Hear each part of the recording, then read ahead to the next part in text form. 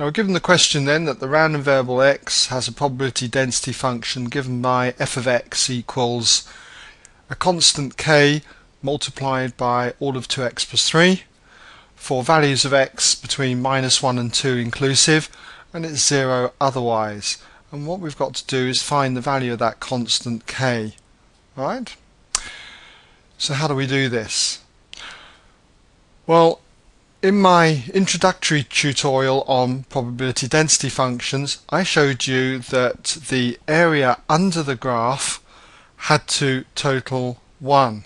And we can get the area by integrating the function, so that's the integral of f of x with respect to x, going from the lower limit, which is minus 1 in this particular example, to the upper limit 2 that integral, which represents the area under the graph, has to come to 1. And so all I need to do now is just substitute for f of x, so that means that we have the integral from minus 1 to 2 of f of x. Well, we take this part of the function, and k is a constant, so I'm going to put the k outside the integral. You don't have to do that, but it just, I feel, keeps it simpler okay? And that equals 1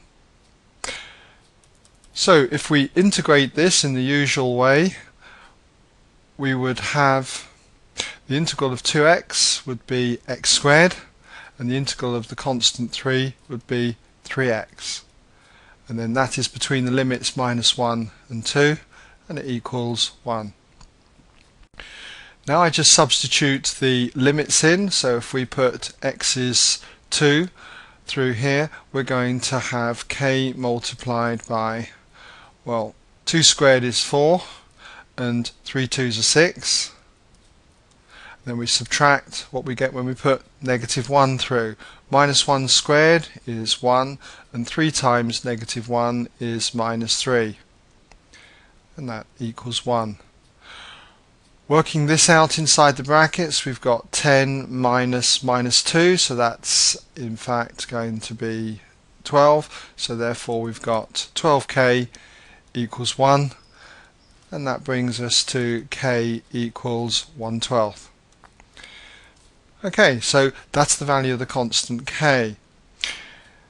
Now I could have done this a different way, because for this particular question, not every question, but for this particular question, what we have got is a geometrical shape because this particular function, this the graph of f of x, would be a straight line. I'll show you. And uh, having a geometrical shape, as you'll see in a minute, means that we can use other formulas other than integration. Now, Mark on my axis f of x and this axis here x. And being a straight line it has the form mx plus c.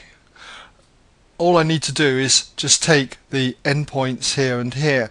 If I put x is minus 1 into the function what we've got is 2 times minus 1 which is minus 2 add 3 is 1 1k so when x is negative 1 the value that we get is simply k. So we'll say that those coordinates there are 1 comma k.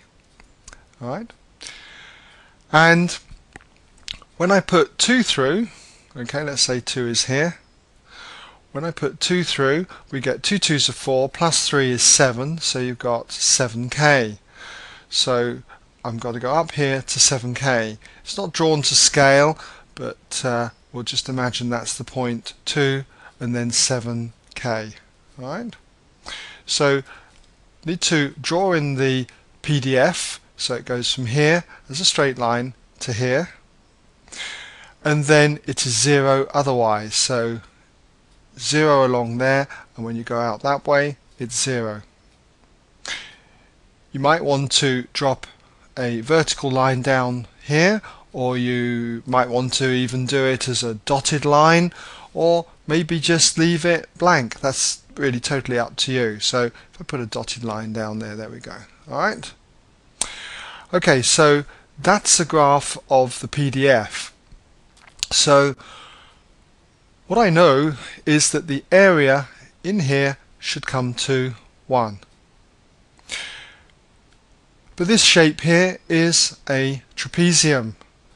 And if you know the formula for the area of a trapezium, which is half the sum of the parallel sides, these being the parallel sides, the dotted lines, half the sum of the parallel sides times the distance apart, which would be this distance here.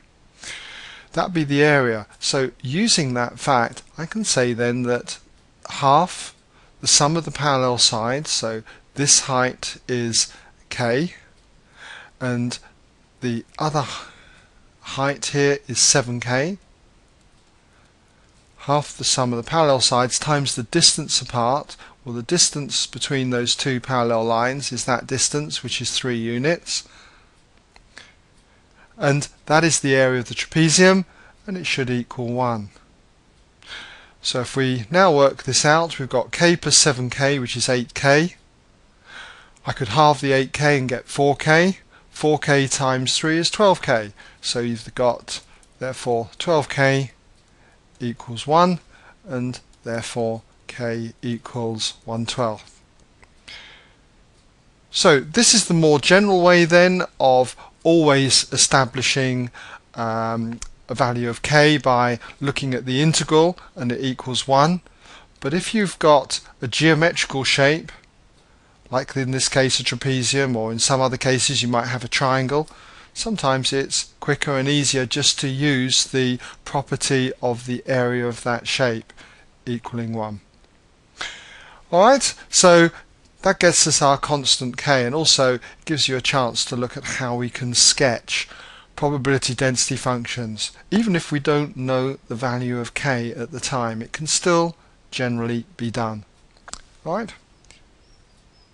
Now that brings us now to the end of this uh, example, so hope you've been able to follow that.